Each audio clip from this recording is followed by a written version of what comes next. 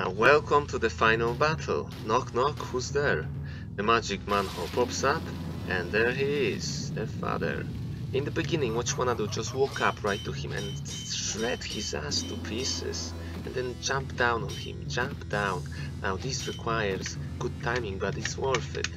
Now that's the basic. Make him jump across, get behind him and cut him up. Or, ah!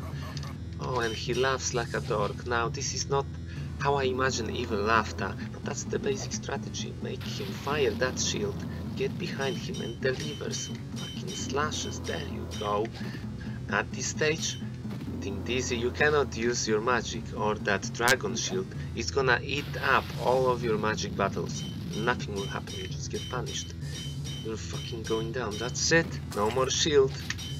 Now it's getting tricky because if you walk away, he's gonna use his other magic attack, the ground one, which is hard to jump over. You wanna get nearby and just wait for that window of opportunity. Knock, knock, there you go. Wait for that window of opportunity.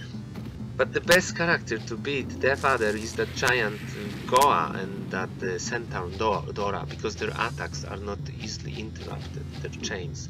Watch for that axe. Now you can use the magic. Oh, fucking hell. Counter magic! now get some! Burn! Now I'm gonna fuck you up. Ooh, you're going down now. That's it. Gotcha! Ha! Yeah, damn it. Hmm. Headshot. Poof. Is this the end? It was a tough battle. Am I going home? Oh, they always come back. Oh, don't get. Oh, there is a glitch on the screen. No, just don't hold back. Just fucking hell.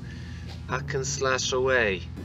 Fucking if you've got magic, use magic. The, oh, the good old jumping and the combo finish. Fucking that's it. He's done. What you gonna do now? Ooh, say what? A Dragon Ball? Hadouken?